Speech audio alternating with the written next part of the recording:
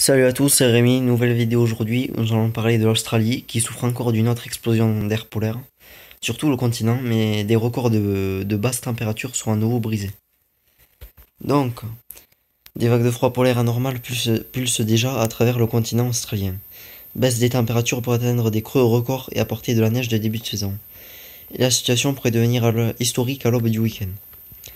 La masse d'air glaciale de l'Antarctique a déjà apporté de la grêle à Mitagong et Bowral, situé au sud de Sydney, ainsi que de rares chutes de neige en début de saison dans les Blue Mountains et les Central Table, Tablesland.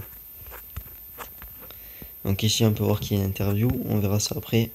Donc le gel hors saison a même incité les marchands chauds du bureau de météorologie BOM à émettre des alertes pour les brouteurs de moutons. Les températures froides, de la pluie et de la neige et des vents de sud-ouest sont attendues vendredi pour l'Arwara, les plateaux du centre et les plateaux du sud et des montagnes enneigées, ainsi que pour le Darling Ground. Donc, il y a un risque donc pour les moutons et les bétails qui peuvent euh, bien sûr mourir de ça.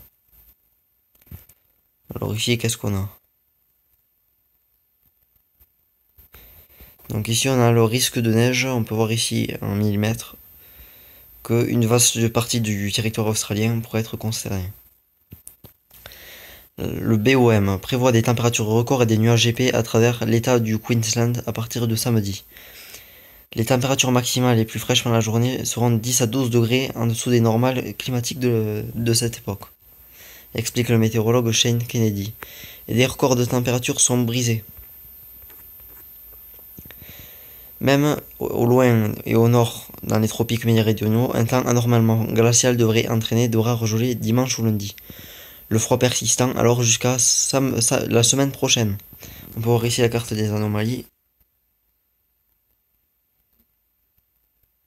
Et on peut voir que c'est vraiment assez intense, avec euh, du bleu quasiment partout. Même en remontant vers les tropiques, comme ils le disent.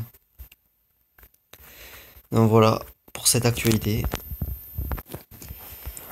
On va faire un tour rapide aussi en Amérique du Nord qui bat énormément de records de froid depuis euh, janvier et surtout à mai.